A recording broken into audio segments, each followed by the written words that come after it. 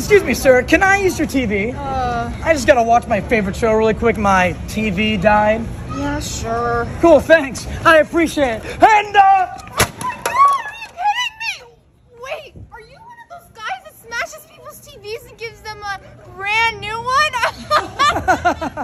No, no. I'm just a guy who smashes them.